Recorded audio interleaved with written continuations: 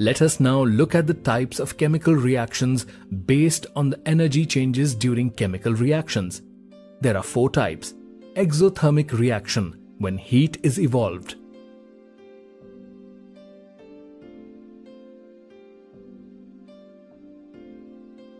Endothermic reaction, when heat is absorbed.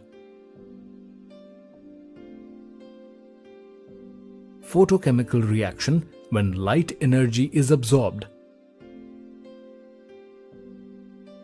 Electrochemical reaction when electrical energy is absorbed.